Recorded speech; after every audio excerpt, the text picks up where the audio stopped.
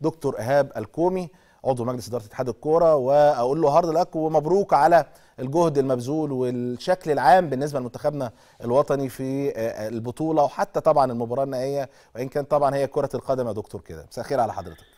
مساء الخير يا كابتن فاروق و hard luck زي ما أنت بتقول لكن الحمد لله الحمد لله. الحمد لله. آه مرارا وتكرارا بنقولها هي كرة القدم آه حينما تعطي أو لا تعطي آه لكن الحمد لله بقى عندنا منتخب قوي للغاية بقى عندنا جيل من اللاعبين نقدر نبني عليهم خلال الفترة القادمة إن شاء الله جيل من الموهوبين اكتسبنا أكثر من لاعب تقدر صغار السن نقدر نبني عليهم لسنوات عديدة قادمة إن شاء الله بإذن الله لمستقبل الكرة المصرية. بقى عندنا أسماء زي ما أنت قلت فتوح وعبد المنعم الونش بسم الله ما شاء الله امبارح شفنا عاشور وهو قدام واحد من أفضل لاعبي العالم ساديو ماني طبعا. مش عاوز أسيب حد في المنتخب لكن أنا بقول لك تشكيلة الدفاع بالأمس لأول مرة تلعب مع بعضها في بطولة كبيرة زي ديت وفي نهائي ويقدموا هذا المستوى لا لا إحنا بقى عندنا جيل قادر إن شاء الله مع مدير فني أنا قلتها مرة وتكرار معاك يا كابتن فاروق لكن لما أنا كنت موجود وشفت الراجل بيشتغل إزاي لا كارلوس كوروس وكابتن فاروق في حتة ثانية. عاوز أقول لك إن الراجل ده ممكن يا كابتن فاروق من 18 ساعة يكون شغال ما بيبطلش شغل. يطلع من التدريب يقعد بتحليل الفرق المختلفة مع كتيبته اللي موجودة معاه لا جهاز على أعلى مستوى عنده إدراك عنده وعي عاوز يعمل حاجة للكرة المصرية وإن شاء الله بإذن الله نقدر نعمل ونقدر نوصل لكأس العالم بإذن الله معاه. إن شاء الله الوصول لكأس العالم بقى إزاي يا دكتور؟ أنا مش عايز أتكلم عن المنتخب كتير في البطولة لأن صراحة في الآخر إحنا شفنا جهد مبذول ودي الحاجة الحلوة اللي في المصريين لما بيشوفوا جهد مبذول وإن أنت عملت اللي عليك يقول لك hard luck. يعني أنا شايف النهارده الاستقبال حتى تعتبر استقبالك انك كسبان. بغض النظر يا دكتور. بالفعل يعني النهارده الشعب زي ما أنت بتقول أصبح على يعني واعي وطول عمر الشعب المصري يعني كوير زي ما بتقول بلغة الكورة بيفهم كويس قوي في الكورة. فالنهاردة رغم خسارتك في البطولة الناس كلها سقفت المنتخب القومي الناس كلها قالت شكرا لمنتخب مصر على الأداء. شكرا إن هو وصل بينا لأبعد نقطة في البطولة وهو المباراة النهائية.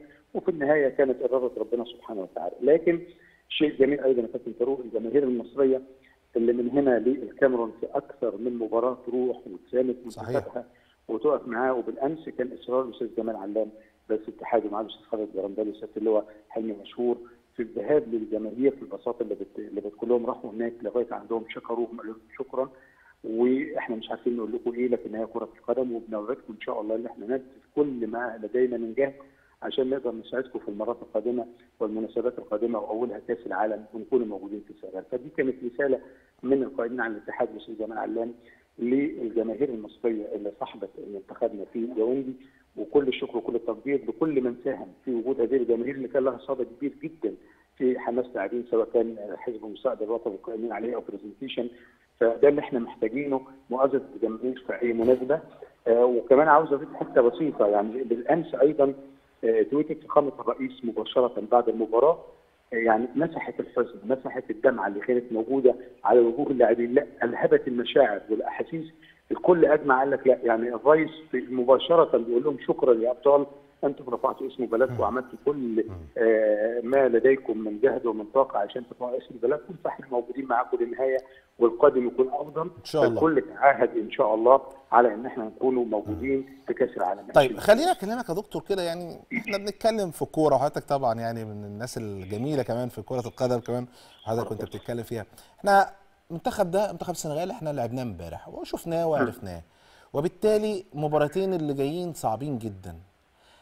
عملية التجهيز وعملية الشكل الفني بس عشان نبقى متفقين يا دكتور امبارح إحنا كنا مجهدين. وده كان واضح. ولكن برضو كان في جزء مهم بالنسبة لنا وهو جزء الهجومي وده كان ناقص. إحنا الفترة اللي جاية هل يتم التجهيز إزاي؟ وهل هيبقى في جزء مختلف؟ من وجهة نظرك مع كروش بما أنتوا هتقعدوا معاه يعني أكيد. في عملية الشكل الفني بالنسبة للمباراتين الجايين لأن حضرتك إحنا يهمنا جدا المكسب في المباراة الأولى. يهمنا جدا إنك تعمل نتيجة جيدة عشان هتروح هناك. الوضع لو ما كانش جيد في مصر هيبقى مش جيد برضه هناك في السنغال. خليني أقول لك كابتن فاروق يعني مستر كارلوس من الناس الواعية جدا جدا جدا. إحنا كدورنا كاتحاد مصر كره القدم ومعنا أيضا رابطة الأندية اللي بتدير الدوري بقياده النائب أحمد دياب. كل متطلبات الجهاز الفني إن شاء الله من أجل إعداد المنتخب للمباراتين القادمتين هيتم توفيرها بالكامل. الناحية الفنية طبعا لا علاقة للاتحاد المصري لكرة القدم بيها لكن الراجل على وعي جدا بمتطلبات فرقته قادر حاطط إيده على المتطلبات خلال المباراتين القادمتين إيه اللي هيتم تعديله طبعا مع جهاز كامل على أعلى مستوى سواء كان الجهاز المصري كابتن ضياء وكابتن شوقي والمنتخب كابتن وائل جمعه طبعا الجانب الأجنبي اللي موجود معاه جهاز متكامل ومتجانس وعلى طول خلية شغل شغالة خلية نحن شغالة على طول.